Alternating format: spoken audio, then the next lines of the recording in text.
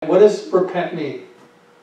If you think in your heart, we hear this word in, in biblical terms. This is a, a, a Bible word, but repent means to. The idea means turning away from something, making uh, a turn around, making a, an opposite turn and going the opposite way. In other words, you're making a decision, you're making a choice to turn away from whatever you are doing and turning back towards God. In other words, asking His forgiveness, seeking His mercy, and having a change of heart.